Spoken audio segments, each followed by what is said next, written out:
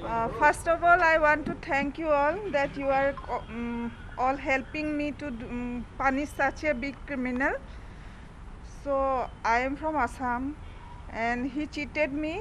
Uh, first, I met him in matrimonial site. Then from there onwards, he we have contacted through phone and all. Then he had physical physically he came to uh, Assam also. I met him there thrice. Then afterwards, our marriage was fixed at 31st May 2021. Uh, when he came to Guwahati along with his some relative, then the marriage ceremony was solemnized. Uh, because of COVID situation, uh, limited persons were there.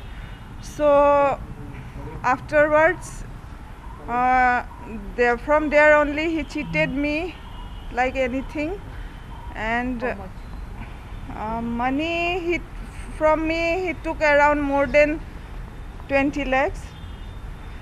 So i request all the victim to come forward and appeal them to file case against him and to punish him so that such crime doesn't occur anymore in india. He had he had played with us like anything. He used our uh, tradition customs like that things very badly. So i need i want all your help to punish him in the court. That's all. Thank you.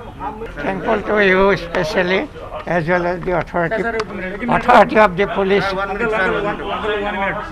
Authority of police uh, of Orissa government uh, that this type of criminal is detected and I, uh, my daughter was victimized about this uh, matrimonial fraud created by this uh, Vijay Sri, and uh, he should be, he should get uh, uh, maximum punishment as far as government criminal rules. And uh, I am nothing to say more. We are very much sorry. These types of criminal are great, uh, lost, doing harm to the nation and this type of national criminal uh, not only be punished, uh, but he should be hanged, I believe it. Thank you, thank you, thank you. Ma'am, ma'am, please, please. Okay. Thank you. Madam, what is the role of doctor's uh, system? And what would you like to say about her, dou- her, her Uh, sister? one thing I want to say that uh, when I came after marriage to Bhubaneswar, uh, his sister and his uh, he told that his stepmother were present during my griha pravesh at uh, DN Oxy Park, uh, 2145 flat number, Cosmopolis Road. Thank you very much. Thank you.